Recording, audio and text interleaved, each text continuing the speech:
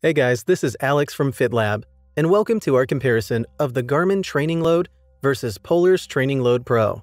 You'll find the links to the products in the description, and you can use the links to check the latest prices and other user reviews. Make sure to watch until the end to know our final verdict on which is better. So, the main difference is the training load tracking.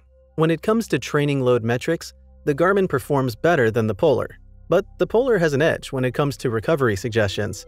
Most of the Garmin watches will come with the Garmin Coach, as well as automatic blood oxygen saturation measurements, VO2 max estimation, running dynamics analysis, and training stats, load, recovery, effect, and recovery time estimations. You should see the training status about the body battery on the app. The requirement for you having the training status appear is that you need two runs of 5 minutes in length.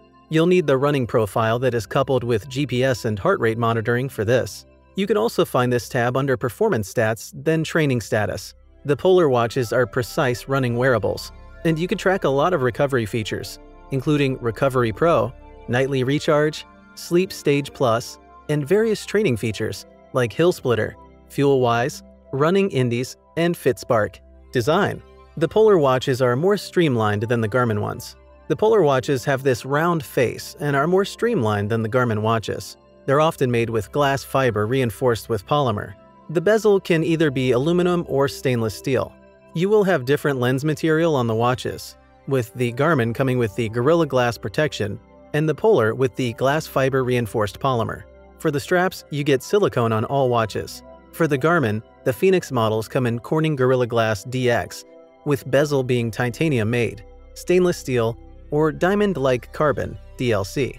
Battery life Garmin watches offer better battery life than the Polar watches. Most of the Garmin watches will give you up to 14 days on smartwatch mode, compared to up to 7 days for the Polar watch. You also get up to 36 hours on GPS mode, compared to 20 hours and 30 hours for the Polar watches. Note that Garmin also has its solar-enabled watches, which can last longer due to sunlight.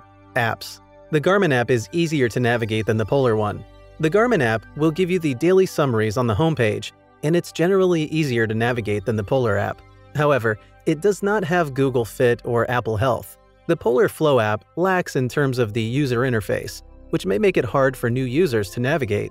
Specifications Comparison From the table, you can note that the Garmin has a wider product range than the Polar watches. The app is also more user-friendly, with a nice interface, when compared to the Polar watches.